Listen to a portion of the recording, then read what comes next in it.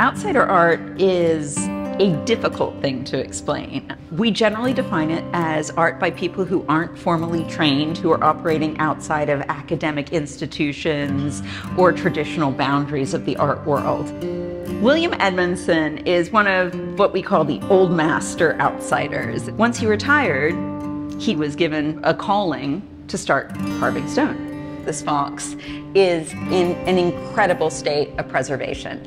This limestone hasn't been worn away. You still see his smile, his nostrils, his eye. Bill Traylor was born enslaved and he lived on a plantation in Alabama until his old age when he moved to Montgomery. Traylor had an ability to take repurposed card and very simple artist materials and create an entire universe.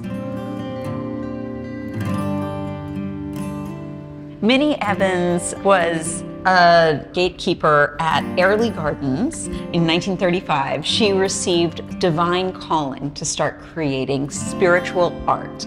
From that point forward, she managed to combine this spiritual art with imagery and graphics of the lush landscape that she saw every day in her role at this garden art makers who are coming at things from an entirely different perspective.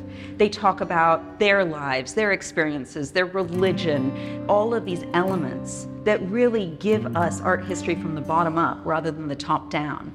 Showing outsider art at a place like Christie's is allowing us to fill in the gaps of a much larger narrative of what art history and what art is.